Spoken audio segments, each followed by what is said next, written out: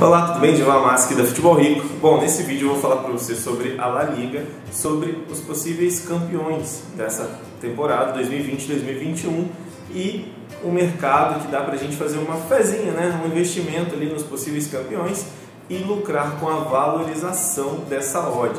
Nesse momento, antes do campeonato começar, o campeonato começa amanhã, uma sexta-feira, dia 11 de setembro de 2020, e o que, que eu tenho que falar para você? Bom, analisando ali os melhores times, a gente sempre tem, claro, essa hegemonia, na maioria das vezes, de Barcelona e Real Madrid. Porém, esse ano, essa temporada, a gente tem um Real Madrid que não se reforçou tanto, mesmo assim é um grande favorito, né? E, porém, é um time que sempre está disputando a Champions League, às vezes foca mais na Champions League, né? E por isso, às vezes, pode deixar escapar ali é, né, algumas vitórias, alguns jogos e não está sendo vencedor da La Liga. Isso pode acontecer muito bem nessa temporada. Principalmente porque a gente tem outros times muito bons, muito reforçados, com uma consistência muito grande, tá? E quais são eles? Bom, a gente tem o Sevilha, a gente tem o Atlético de Madrid, tá? O Vila Real está muito bem, e ali chegando mais por baixo ali a Real Sociedade, tá? E o Barcelona? Bom, o Barcelona nessa temporada acredito que ele vai ter muita dificuldade. Claro, pode surpreender sempre o Barcelona, mas eu acredito que vai ter muita dificuldade pela bagunça que tá, essa reformulação que não foi feita, né? É um time que vai ser meio que montado às pressas para jogar essa temporada, mesmo assim é um time de muita qualidade. O Messi provavelmente vai ser sua última temporada, né? Não sei se ele vai dar o máximo ou não e eu acredito que vai ter muitos problemas internos, políticos, grupo rachado e essa coisa toda. Então eu acredito que o Barcelona não vença. E até mesmo que Barcelona, até porque Barcelona e Real Madrid, a odd do Real Madrid para ser campeão é de 1.8 não tem valor ao meu ver. A odd do Barcelona é de 2.4, 2.3 também não tem mínimo valor.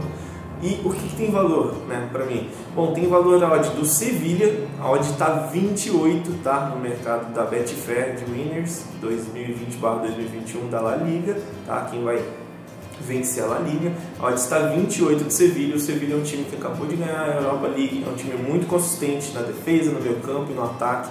É um time que pode chegar assim brigando, né, ali para fase final ali da La Liga e isso vai fazer, se isso acontecer, com que essa odd de 28 vá parar lá em 4, 5, por aí.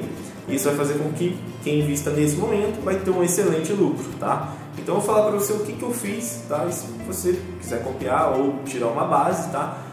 Para você também aí, quem sabe, lucrar junto com a gente aqui da Futebol Rico nessa aposta, tá? Ó, o que, que eu fiz? Eu peguei é, meia unidade, tá? Somente meia unidade que minha unidade? Porque eu fiz a outra metade, eu investi no campeonato inglês, que é o, o outro vídeo, tá? Que está aqui no canal também, que você pode assistir os possíveis campeões da Inglaterra. Bom, mas agora na La Liga, o que, que eu fiz? Eu peguei meia unidade de trabalho minha, que eu achei um valor, né, tudo bem, né, se não, não retornar. E fiz o que? Eu peguei 25% dessa meia unidade de trabalho minha e coloquei na odd de 28 do Sevilha tá? Eu peguei 15% né, dessa meia unidade e coloquei no Atlético de Madrid numa odd de 12.5. Para mim ainda tem valor, né? Que é o principal concorrente aí do Barcelona do Real Madrid. E eu fiz uma fezinha, né? Coloquei 5% no Vila Real, numa odd de 120, tá? E 5% na Real Sociedade numa odd de 150. Ah, mas e o Valência? Ah, mas cara, não, eu pelo que eu tenho experiência, pelo que eu conheço das equipes, pela última La Liga, eu acho que a Fezinha tá ali no Vila Real e na Real Sociedade. Valência para mim não não vai chegar, tá? Pode até chegar, mas não, não acredito. É, eu prefiro colocar essa fezinha no Vila Real e na Real Sociedade. E essa fezinha maior aí no Sevilha e no Atlético de Madrid, tá? Então como que vai funcionar? Quando passar de 50% da competição, entre 50% a 80%, a gente já vai começar a ter uma ideia de quais os times que vão afunilar, né? Estão crescendo, de repente o time, é, a equipe ela evolui durante o campeonato, ou ela, né, pelo contrário, ela fica muito ruim, se perde, enfim tem lesões, tem uma série de coisas que pode afetar. Mas eu acredito que passado 50% da La Liga, a gente já vai ter uma ideia e os times, esses times vão estar ali nas oito primeiras posições e pode ser que qualquer um desses times que estiver ali em quarto, quinto, vai fazer com que essa odd de 120, de 28 do Sevilha, por exemplo, caia lá para 10, 5, 4, né, dentro desse range. Isso já vai nos dar uma ótima, um ótimo lucro, né, porque já vai dar uma ótima valorização. E é esse o intuito, pegar essa valorização.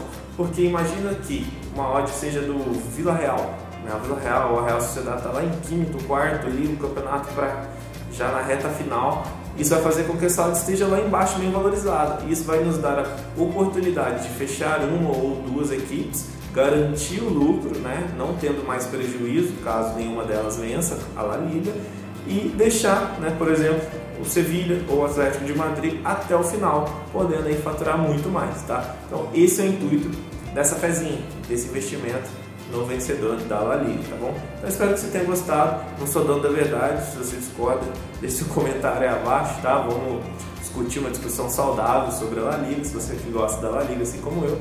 Então é isso aí, obrigado e até mais. Ah, assiste lá o vídeo dos possíveis campeões da Inglaterra, tá bem bacana também, tá bom? Então é isso aí, abraço. E tem um canal para você que tem, é, antes de despedir, na verdade, né, deixa eu falar um pouquinho eu tenho um canal tá, no Telegram de tips gratuitos, onde eu envio, onde eu envio uma indicação por dia, juntamente com uma análise para quem é trader ou quem faz em live, tá? Uma análise pré-jogo, juntamente com a tip, o prognóstico, né? a indicação de investimento, seja lá como você queira chamar, tá bom? Então o link está aqui embaixo também do canal do Telegram, entra lá, tem muito conteúdo além das indicações e te espero lá. Obrigadão, um abraço, até mais.